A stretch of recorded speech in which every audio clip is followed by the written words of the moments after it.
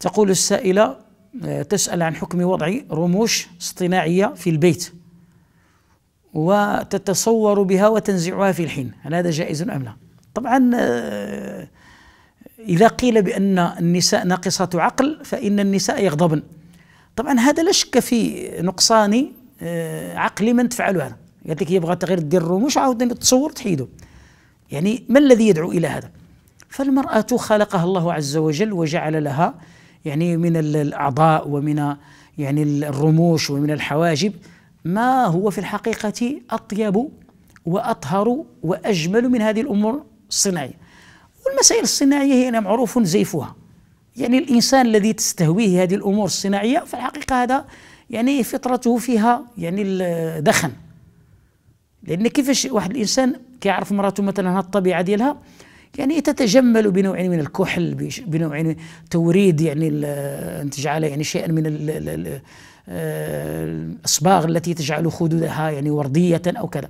لكن الآن يعني هناك تغيير لخلق الله واضح.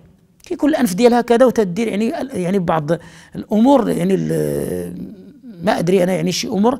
فيعني كتغير الخلقة ديالها. الأنف ديالها كيولي كبر مما هو عليه. الشفتين كيولي أكبر مما هم عليه. يعني رموش اصطناعية حواجب يعني مرسومة. يعني كل شيء مزور. فإذا كان الرجل يعلم حقيقة المرأة وتستوي هذه الصورة المزيفة في الحقيقة هذا ما ما أعلم يعني ما الوضع الذي يوضع فيه. هذه قضية عاد قضية التصوير. طيب هذه المرأة تجعل هذه الصورة في هاتفها. وهذا الهاتف يعني تحتفظ بتلك الصورة. أو لعلها ترسلها إلى بعض صويحباتها. وكتقول لك لا غير أنا وصحابتي شي بس مكان. وذلك الهاتف قد يطلع عليه زوج صاحبتها أو أخو صاحبتها وقد يسرق هاتفها وتقع تلك الصور في أيدي. يعني الأمور وربما يصل إلى الابتزاز وربما يصل يعني أمور كثيرة. من فقه الواقع ونظر فيه فإنه يجد أمورا واختلالات كثيرة. فالمرأة يعني ينبغي لا آه، تبحث عن هذه الأمور. وتكتفي بالأمور آه، التي ليس فيها تغيير لخلق الله عز وجل. يعني إحنا المسائل المشروعة يعني بعض الأصباغ الخفيفة التي يعني تجمل الوجه. لكن هذا التغيير بهذا الشكل الرموش والعدسات اللاصقة يعني كتبقى دير يعني العين بغات تكون واحد النهار عينها زرقاء وغدا عينها خضراء وغدا عينها قهوية وكذا وكذا.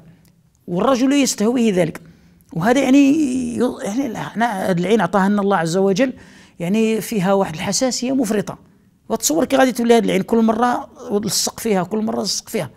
وربما يقع يعني تصل إخبار الله أعلم بصحتها بأنه ربما كتستعمل مجفف الشعر وإذا نسيت تلك العدسات ربما أصابتها بأذى في عينها ربما يصل إلى العمى أو نحوه.